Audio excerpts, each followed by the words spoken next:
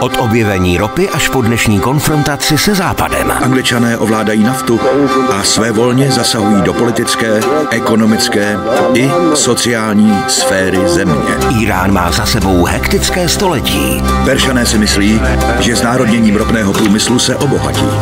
Angličané na ně uvalili totální embargo. Vydejte se s námi na velkolepé putování v dokumentu Iránsko-irácká válka byla jedno z nejdivočejších střetnutí té doby. Postavila proti sobě dva z největších producentů ropy na světě.